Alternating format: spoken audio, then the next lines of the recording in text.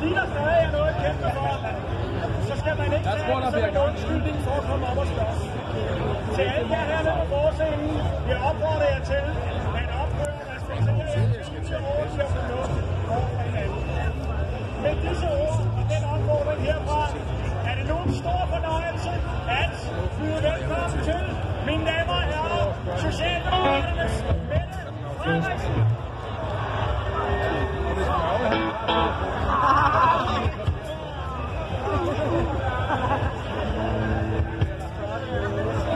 siger vi da god eftermiddag.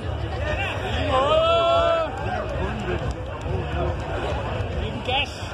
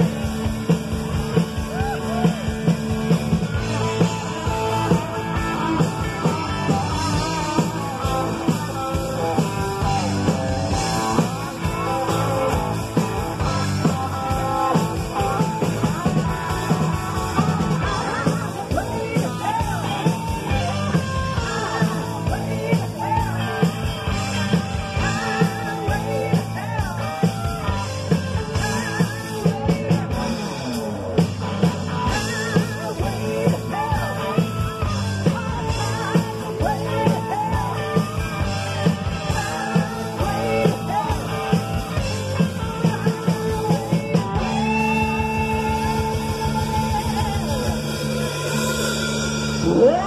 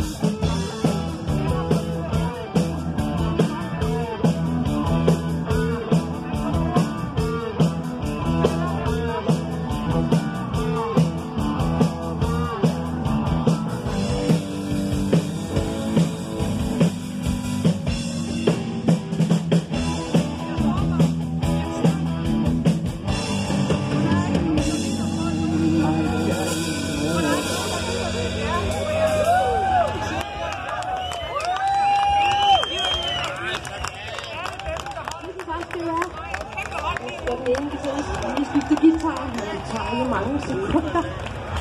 Gitarre, vi til en lidt anden genre.